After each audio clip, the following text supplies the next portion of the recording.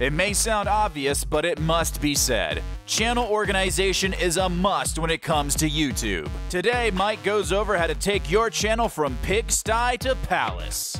What is up everyone, my name is Zesty Mike and today we're going to discuss channel organization. Now I know this isn't really something that applies to every single person that's going to be watching today, however I hope it's going to help some of you guys.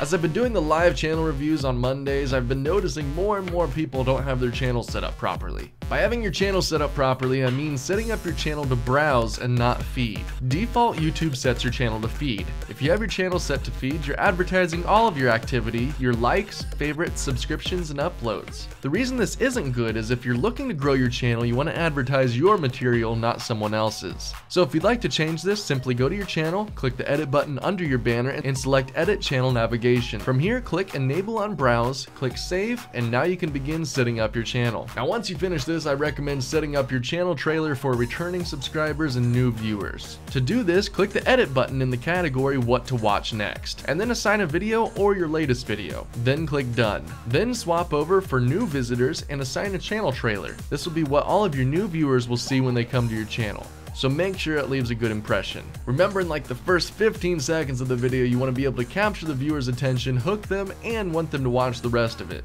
If they lose attention really quickly then chances are they're not going to want to finish out the video. After this, scroll down and add a section and start setting up your channel however you see fit.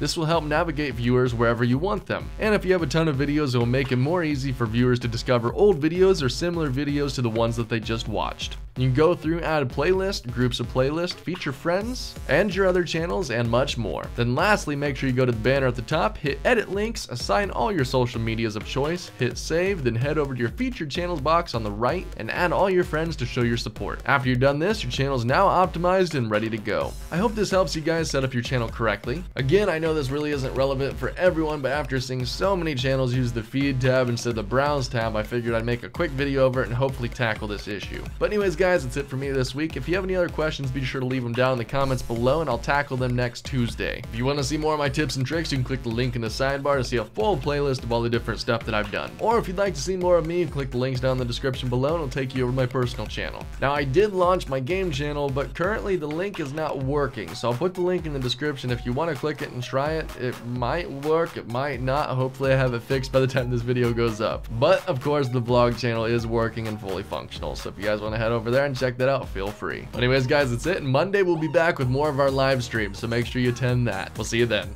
See ya.